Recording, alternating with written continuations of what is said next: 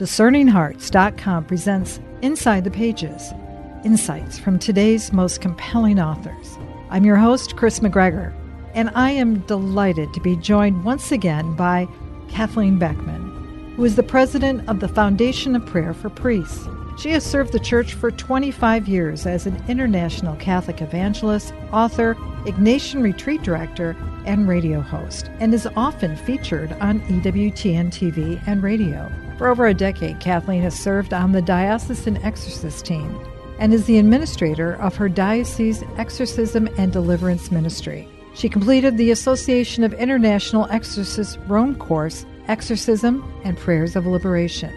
She sits on the advisory boards of the Pope Leo XIII Institute and Magnificat, a ministry to Catholic women. She is the author of three books Praying for Priests, God's Healing Mercy, and When Women Pray.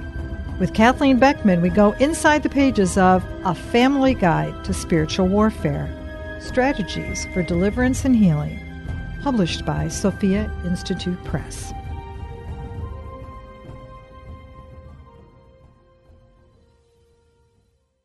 Kathleen, thank you so much for joining me once again. Well, thank you, Kris. I'm delighted to be with you. I am so glad that you agreed to come back to do something special that we haven't done on Inside the Pages before, and has, had somebody come back to talk again about one of the books. Because right after we spoke, uh, an, an extraordinary occurrence happened. The Holy Father declared on December 8th, 2020, the year of St. Joseph. And St. Joseph is so important and so prominent in your work and in this book that it would be a tragedy not to come back and take a look at what you did in in the book uh, with St. Joseph and of course the Blessed Mother. I don't think we emphasized it enough in the short time we had before. So thank you for coming back to talk about this extraordinary gift of the Holy Family. Yes, and I think it's it's very important because you know, first of all we have to consider how often do we make an intentional effort to imitate the Holy Family? Mm-hmm. Now, that said, that is a high ideal, isn't it? And I'm sure that most of us feel like it's impossible and we fall far short of that ideal, but it isn't impossible. You know, the Holy Family that Jesus came to the world, born, he was born into a human family, he had a mother and a father. The Virgin Mary and Saint Joseph, and that he lived with them for 30 years in hiddenness. It's remarkable and it speaks to the importance of the domestic church, of, of the family life. And so we can look, we must continue to look at Mary and St. Joseph and the Lord Jesus, especially the child Jesus. There's so much to learn from the child Jesus. So when we look at them uh, as our models, we realize that, you know what, this is the way the Lord intends for us to be in, in our families. And that is a life of prayer, a life of joy, a life of service, a life of um, caring for one another, and of doing the Father's will. It is possible for us to do that by the grace of God. And so we mustn't be discouraged in families. And I know we all have family issues, if you will we must keep our eyes on that Holy Family and learn from them because they model for us the ideal of family life, which is meant to be uh, valiant and virtuous. And it's possible to, to be that way by God's grace. I have been shouting from the rooftops how this is the one. Everyone has been waiting for the best way to understand and to actually deal with issues that assault us every day in the heart of our family, but also in the heart of individuals. And I think you have brought it forward with this work. Thank you so much. Well, thank you. It was really um, born out of necessity because I I realized in working in the Ministry of Healing, Deliverance, and Exorcism for what 15 years and serving on the exorcist team you know you you see the history uh, behind each individual and how often um, the root of the problem eh, you know uh, is in the what happened to a person in their family life. That's not to blame parents or you know family situations, um, but still, you know, those formative years, whether we're in college or high school or grade school, um, a lot happens to us then, and God wants us to be set free and really uh, come into the fullness of the joy of the Lord. And so, thanks be to God, He has empowered us um, with gifts and graces to um, proclaim His victory and to be victorious over anything that is holding us back from true liberation. Mm. Well, Kathleen, uh, just from the title of your book, it's a family guide to spiritual warfare. And the reason why the family needs to have this the shining star right now is because that is exactly where the enemy is going on his um, eh, on his assault uh, today. It's right into the very heart of the family.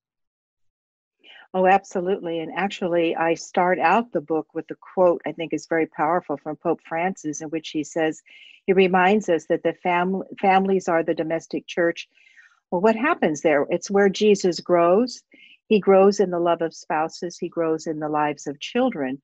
That is why the enemy so often attacks the family because the devil doesn't want the family. Therefore, he will try to destroy it to make sure what that there is no love there. And so, may you know the Holy Father says, "May the Lord bless families and strengthen them in this time of crisis when the devil is seeking to destroy them." And I think you know we need to take to heart that message and and refocus, if you will, on what is going on in our families because God has uh, is doing a mighty work in our families, and um, He wants to use each and every one of us to help protect and to provide um, a really loving environment in the domestic church.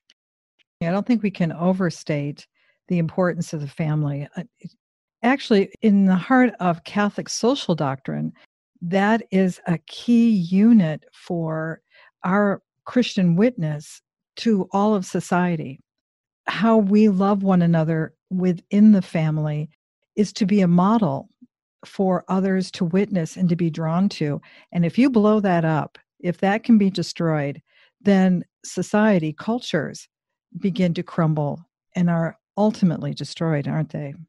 Absolutely. You you spoke that so beautifully, Kris, and this is what the enemy is trying to do in a very intentional methodical way.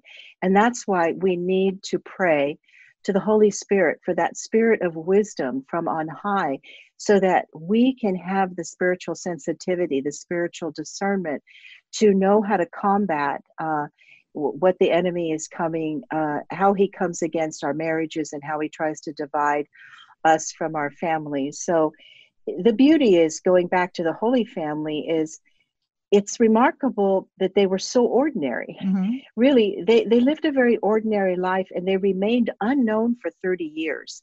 You know, that's that's a call to humility. It's a call to service and a hiddenness. Um, it's hard for us to relate in this world that we live in now with social media and television and everything but the holy family they were so ordinary as i say in the book that they were they were willing to be unknown and hidden for 30 years. And they were so humble that they were content to be hidden and unknown. And then they grew in love scripture tells us through what? Obedience to the father and service to one another. So always you know praying in our families for the father's will um, they prayed together, they worked together, they honored one another, they made a home. And, you know, we are called to make a home and create a loving sanctuary of peace in the domestic church. So, this exalted beauty of the Holy Family is something that God wills for our families. And it's a work that is worthy of our effort and worthy to um, strive for. You know, what I love what you've done in a family guide to spiritual warfare, particularly in referencing St. Joseph, in some uh, instructions on spiritual warfare in the past, and it's not a. uh, not I'm not trying to say that they were lacking. I think there is always a holy, pious intention of heart. We're trying to get the material out there, but right. there will be descriptions that you should turn to Saint Joseph. And yes, he is the terror of demons. There is a, a, the beautiful litany that you even put in the book of the titles of Saint Joseph. But yet, it's one thing to go to him as a resource in the battle. It's another thing to help people learn to become like that resource, to emulate what St. Joseph is. So it's not just St. Joseph over there, but it's St. Joseph in, in some ways. You're taking on that virtuous nature and emulating St. Joseph so that it's that power to be able to vanquish the demon is something that is very organic to the Christian and can be accomplished so fully, but in virtue. Am I am I overstating that, Kathleen? No, you are not, because you know the church has said that Saint Joseph is the terror of demons, and I can say from experience that during the rite of exorcism, he is a terror to demons, and they uh, they react very strongly to the name of Saint Joseph. And in the book, I quote Father Donald Calloway in his book on Saint Joseph, and and I also quote uh, Bishop Thomas Olmsted, who's written a great deal encouraging men to uh, emulate uh, Saint Joseph. So, you know, the last thing the devil wants is for men to be apparitions of Saint Joseph, but that is that they increase the presence of Saint Joseph. So, this is precisely what we need in the world today and what the family needs is the presence of Saint Joseph, the father, the protector, you know, the one willing to to serve and to be humble, uh, to be virtuous, and to bring forth the fruitfulness that God the Father has ordained for our families and by extension for the whole world. So, this is a real call out. And in the book, I speak a lot about this, about St. Joseph. There's prayers uh, and litanies, as you mentioned, to St. Joseph. But I also quoted um, some beautiful text from Bishop Olmsted and about the attack on father. And, in the reflection is called where is my daddy? Mm. and you know it's like this is the cry of so many people today so many young people. Where's where is my father? Where is my daddy? Where did where has he gone? And he left us or i don't know him you know? And um, so there's a reflection on that. And so it's a call to men to really take saint joseph um, and really you know commune with him in prayer and ask him to help you to have the virtues of his paternal heart and so this is a real spiritual dynamic, and it will empower men um, to be uh, have a great spiritual authority in their households. We'll return to Inside the Pages in just a moment.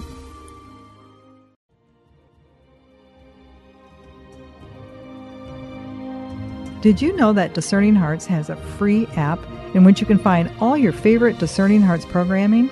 Father Timothy Gallagher, Dr. Anthony Lilles, Deacon James Keating, Mike Aquilina, Dr. Matthew Bunson, and so many more are found on the Discerning Hearts free app.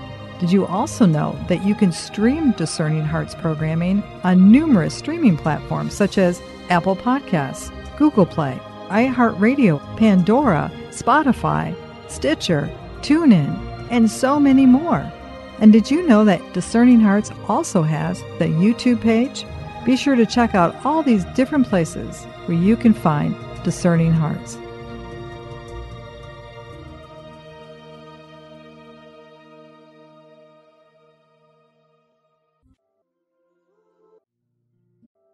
A prayer of St. Ignatius of Loyola. Soul of Christ, sanctify me. Body of Christ, save me. Blood of Christ, inebriate me. Water from the side of Christ, wash me. Passion of Christ, strengthen me. O good Jesus, hear me. Within thy wounds hide me. Suffer me not to be separated from thee. From the malignant enemy, defend me. In the hour of my death, call me, and bid me come to thee, that with thy saints I may praise thee, forever and ever. Amen.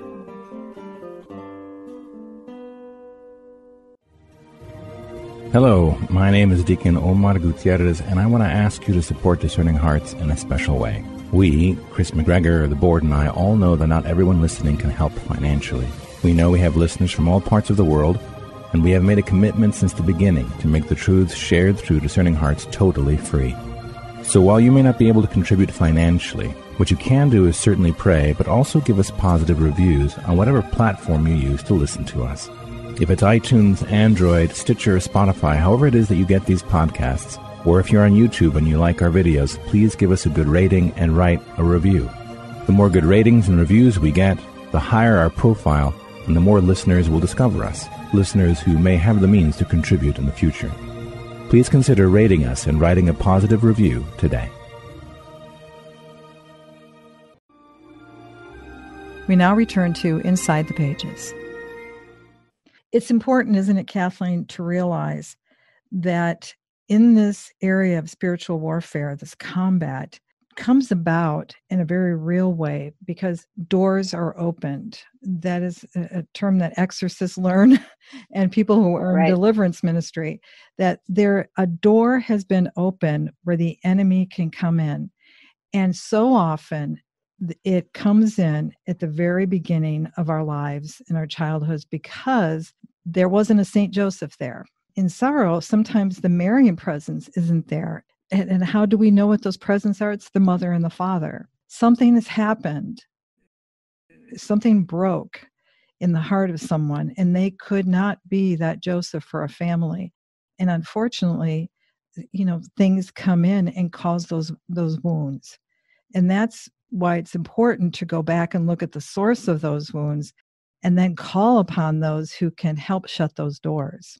Absolutely. And wounds, um, I'm glad that you mentioned that because, um, you know, one of the exorcists, uh, one of the foremost exorcists known in America, he he once gave a conference and said, "Look, wounds becomes an open door, a portal, especially if I perceive my identity that in that wound. Mm-hmm. If I live in that wound, then an evil spirit can live in that wound. Therefore, we have to acknowledge um, that there is a wound. Like I had a wound after my father in law was murdered, and I witnessed that. It was a very deep wound. And that's when I, I know in prayer, I felt prompted by the Holy Spirit to take great care to heal this wound of unforgiveness and of anger and of losing faith that there was goodness in men because somebody could murder someone else. Um, then I had to take care to be healed of that wound. And what motivated me was the inspiration in prayer that said, Take care to heal your wound so that you don't impose it upon my body, the church.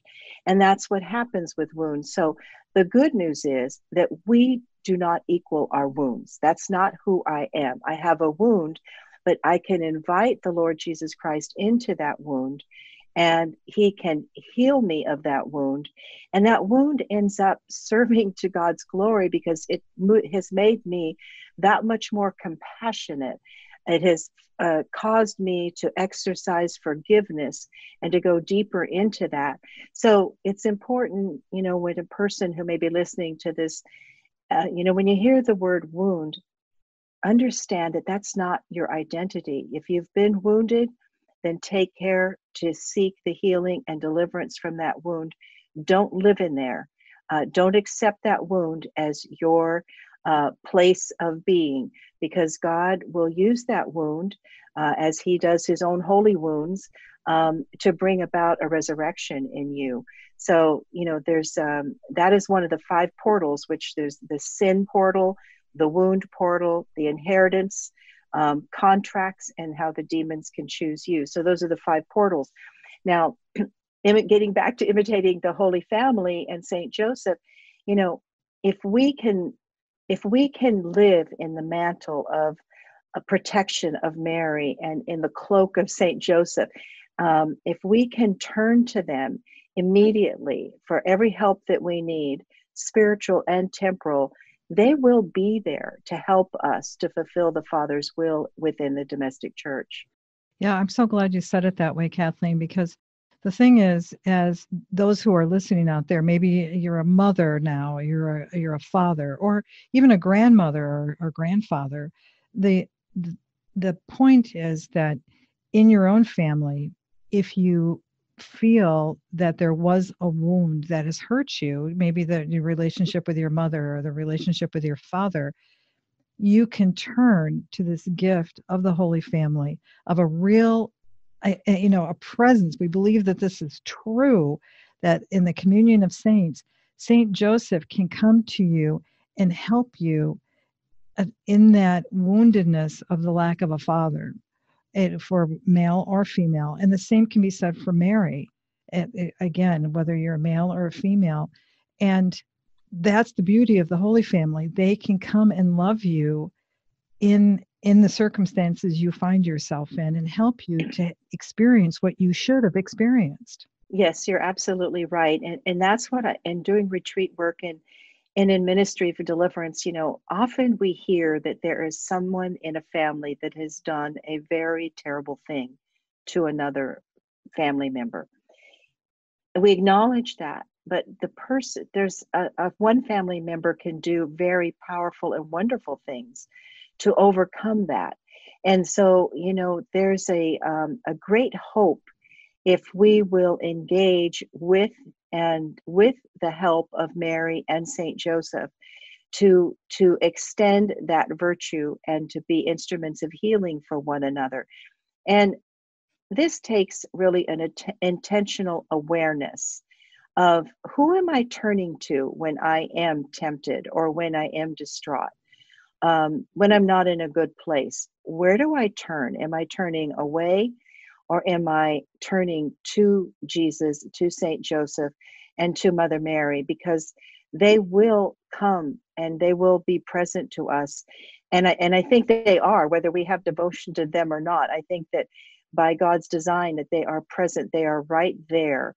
Uh, they care about each and every family, and they're wanting to help. And so that invitation to come, come into my family, Saint Joseph, you know, and and pray like spouses pray. You know, I have prayed for my husband to really walk in the virtues of Saint Joseph and that I may walk in the virtues of Mother Mary. You know, these are real spiritual dynamic realities. And so as long as we can pray for them and turn to them, to the Holy Family, um, I think that it will serve our families very, very well. What's remarkable about the book, A Family Guide to Spiritual Warfare, uh, Kathleen, is that you had such great information in the beginning of the book on the reality of spiritual warfare. But then there's also this really packed section in the back of the book. so it's like uh, my, my poor book is so broken. The spine is broken. It's all because I keep going through it and I think, oh, this is this this could be a book in its own. But you spoke about so beautifully in chapter 10 about the Virgin Mary and the angels in spiritual combat. And of course, you know, right by her is Joseph. I mean, it's, um, but he's so quiet that he's just, he's, he's just present. He, he's so grounded in who he is that, I mean, it's, it, it's such an, uh, an incredible example of humility, isn't it? Oh, absolutely. You know, it's so funny that you mentioned about the placement of I, I saved like in my mind my one of my favorite chapters is chapter 10 the virgin mary and the angels in spiritual combat and you have to get to the back of the book to, to find that that gem um, but it, you know so i encourage people to persevere it is a longer book but uh, I, I the real treasure i think is it, uh, well there's a lot of treasures i think in the book mm-hmm. hopefully but um, i think the chapter 10 is really packed with beautiful insight about the Holy Family and Mother Mary and the angelic world. Um, and I do want to mention in the book, Kris, also the appendices. Some readers tend to not look at an appendix, but the two appendices I think are very vital because the first one, there's um, what 40 pages of prayers mm-hmm. that have the imprimatur and nihil obstat, and several of them uh, relate to Mary and to Saint Joseph and the Holy Family. And then the second appendices, um, appendix uh, relates to real uh, case studies, not to sound too too um, technical, but uh, you know, you get to read about other family situations and how they came to the church for healing and deliverance, and then they were victorious. What their journey was like, and that's a very helpful tool.